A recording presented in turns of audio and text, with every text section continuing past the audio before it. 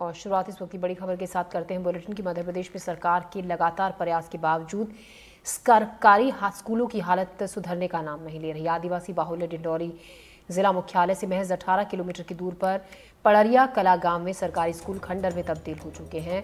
Middle और high school भवन की हालत इतनी खस्ता है कि स्कूल की बिल्डिंग किसी भी वक्त ढह सकती है। स्कूल की बिल्डिंग बारिश के वक्त टपकती है और बिल्डिंग के ऊपर गंदगी देखी जा सकती है। स्कूल में हमेशा खतरे की आशंका बनी रहती है।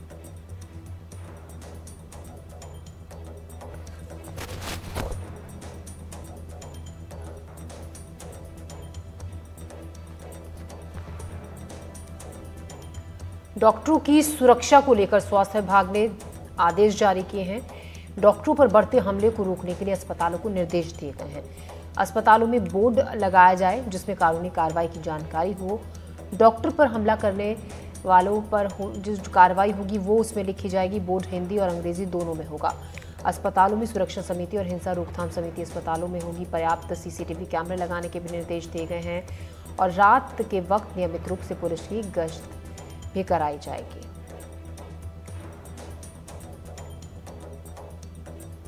तो डॉक्टर पर हमला करने पर कार्रवाई की जाएगी और इसके बोर्ड बाकायदा अस्पतालों में लगाए जाएँगे, जिस पर ये पूरी जानकारी दी जाएगी कि अगर डॉक्टर पर हमला किया तो क्या कार्रवाई हो सकती है। साथ ही रात में अस्पताल में जो पुलिस वहाँ की पुलिस है, उसकी गश्त भी पुलिस राउंड पर भी रहेगी, जिससे अगर कभी कुछ ऐसा मामला होता है, ऐसी कोई घटना घटती है तो स्थिति को कंट्रोल में किया जा सके। डॉक्टरों पर होने वाले हमलों को लगातार बढ़ते हमलों को लेकर ये दिशा निर्देश जारी किए गए हैं। अब अस्पतालों में सुरक्षा समिति और हिंसा की रोकथाम के लिए ये किया जाएगा। अस्पताल समिति की तरफ़ से डॉक्टरों की सुरक्षा को लेकर स्वास्थ्य विभाग ने ये आदेश जारी किए हैं। डॉक्टरों पर बढ़ते हमलों को रोकने के लिए अस्पतालों को ये निर्देश दिए गए हैं।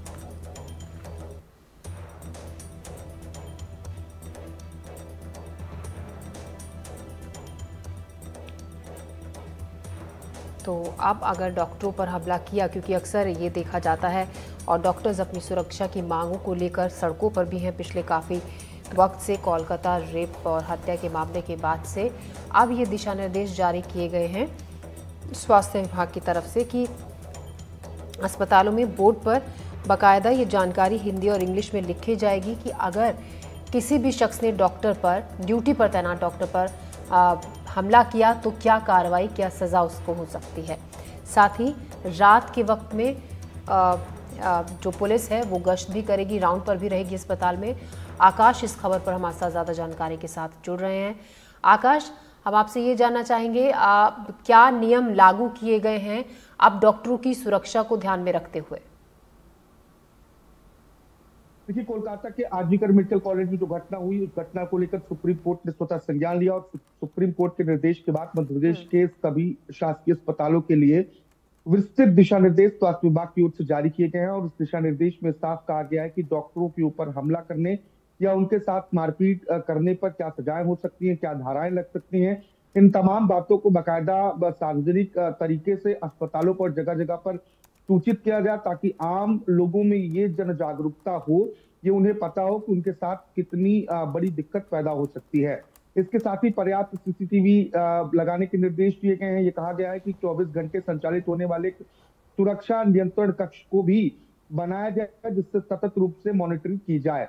इसके अलावा जो निर्देश जारी किए गए उसमें ये भी कहा गया है कि जो महिला डॉक्टर्स हैं उनकी सुरक्षा के लिए उन्हें रात में कैब के माध्यम से घर छोड़ा जाए या फिर उनकी सुरक्षा का पर्याप्त ध्यान रखा जाए, रास्तों पर स्ट्रीट लाइट हो, जिस रास्ते से वो हॉस्टल जाती है, उस रास्ते में भी स्ट्रीट लाइट यानी कि पर्याप्त उजाले की व्यवस्था होनी चाहिए। इसके साथ ही दो समितियाँ हैं जिसको गठित करने के लिए कहा गया है। ये कहा गया है कि जो अस्पताल है, वहाँ पर मरीजों के जो परिजन हैं, वो अस्पतालों में अनावश्यक रूप से ना पहुँचे।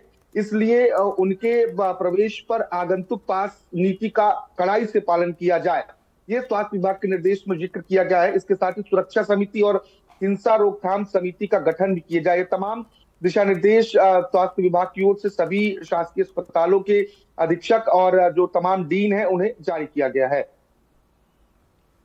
तो आकाश, क्या ये माना जाए जो मांग लगातार डॉक्टर्स उठा रहे हैं? पिछले काफ़ी वक्त से सड़कों पर, जिन मांगों को लेकर सड़कों पर हैं डॉक्टर्स, अब उस तरफ़ कुछ ना कुछ एक सकारात्मक पहल होती हुई नज़र आ रही है। इस आदेश के बाद, निर्देश के बाद? बिल्कुल ये कहा जा सकता है कि डॉक्टरों की सुरक्षा को लेकर सरकार अब गंभीर है हम्म। और किसी भी कीमत पर कोलकाता जैसी घटना रिपीट ना हो ये कोशिश है कि ऐसी घटनाओं पर रोक हो और डॉक्टरों की सुरक्षा तय की जाए। लेकिन डॉक्टर्स की मांग थी सेंट्रल प्रोटेक्शन एक्ट लागू करने की। वो मांग अभी भी बनी हुई है सेंट्रल प्रोटेक्शन एक्ट लागू किया जाए। लेकिन जब तक ये एक्ट लागू नहीं होता है तब तक ये मान लिया जाए कि इन तमाम व्यवस्थाओं के ज़रिए सरकार डॉक्टरों की सुरक्षा सुनिश्चित करना चाहती है। शुक्रिया आपका तमाम जानकारी के लिए आकाश।